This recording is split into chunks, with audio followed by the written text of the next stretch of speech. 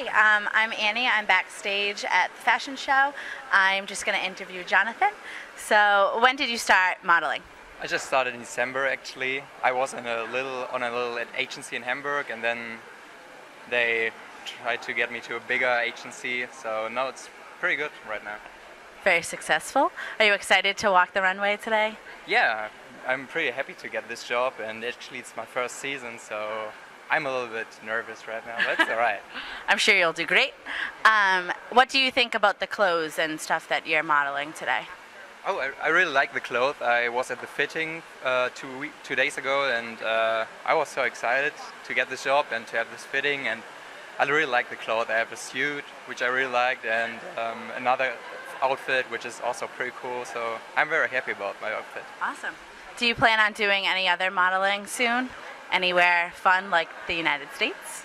Yeah, I uh, met some um, agents from New York, and I really want to go to New York, but my book is right now not, not that good because I just started in December and mm. I think that it's a hard competition over there.